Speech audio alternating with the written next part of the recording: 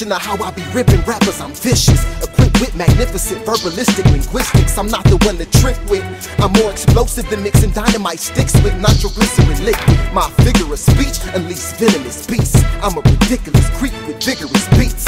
Your clique could be admitting defeat. You get your face punctured like we were sparring, but I was kicking and money in the mattress. Money in the bank and it's money in the stashes. Money on the floor, more money in the attic. Money by the sink and some money in the cabinet. I'm seeing money, I hope y'all got it. Cause I got hundreds just jumping on my wallet. Holla, probably out in your town, like a plane crash.